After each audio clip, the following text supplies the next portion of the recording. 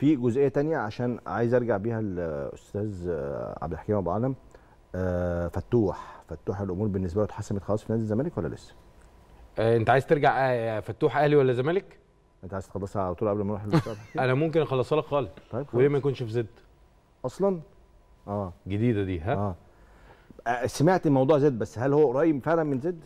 في تفاوض حصل مع مع ممثل بيتكلم باسم فتوح. وال يعني في الفترة الأخيرة كان جس نبض.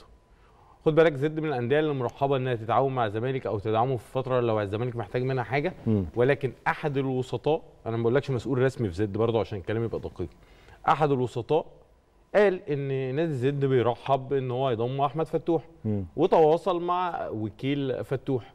لسه ما حصلش تفاوض رسمي ما بين إدارة زد وفتوح. ولكن في عرض كده من خلال وسيط وعرض قوي جدا. فلو في مصر آه. آه، هتلاقي منافس للأهلي والزمالك. هتلاقي فيه اهتمام كبير خاصة من زد. من زد. ولو خارج مصر هتلاقي من السعودية. فتوح.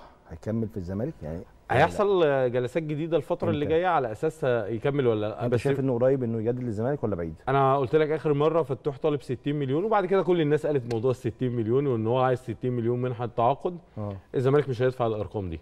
آه مش هيدفع حتى مش عايز أقول لك منحه تعاقد يعني نص الأرقام دي مم.